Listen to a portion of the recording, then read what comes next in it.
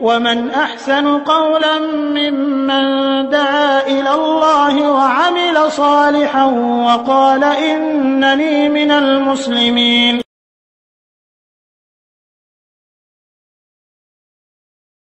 আসসালামু আলাইকুম রহমতুল্লাহ বারাকাতু এক ভাই প্রশ্ন করেছেন যে তিন রাকাত বিশিষ্ট সালাত অথবা চার রাকাত বিশিষ্ট সালাতের প্রথম বৈঠক প্রথম বৈঠক আহ, হয়েছে কিনা এটা মনে নাই। তৃতীয় রাকাতে যখন দাঁড়িয়ে গেছে, তখন মনে হচ্ছে যে প্রথম বৈঠক কি করলাম কি না করলাম না।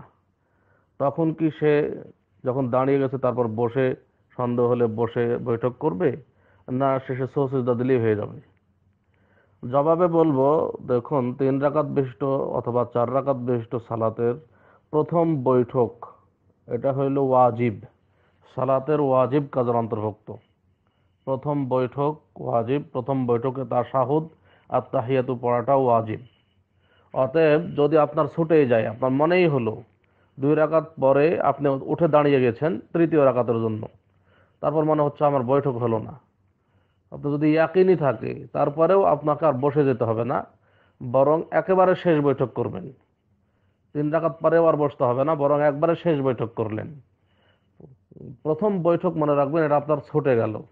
ছুটলো কি? ওয়াজিব ছুটলো। আর সালাতের মধ্যে ওয়াজিব কাজ ছুটে গেলেই আপনার সালাম ফেরানোর আগে দুইটি সহসেজদা দিয়ে সালাম ফিরিয়ে দিবেন। তাহলে আপনার সালাত সহি হয়ে যাবে। কারণ ওয়াজিব কাজ ছুটে গেলে সহসেজদা দিলেই সহি হয়ে যায়। আর যদি সন্দেহ হয়, আপনার ইয়াকিন হইলে আপনার বসার দরকার নেই। ইয়াকিন যে আপনার ছুটেই গেছে।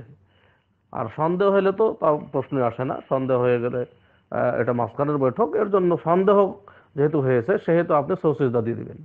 যেহেতু পালন হয়েছে কি হয় নাই, এর সন্দেহ, সেহেতু অবশ্য আপনি সৌসিজদা দিয়ে দিবেন, সালাম ফেরানোর আগে দুইটি সৌসিজদা দিয়ে সালাম ফিরিয়ে দিবেন, তাহলে ইনশাল্লাহ আপনার সালাদ সহি হয়ে যাবে।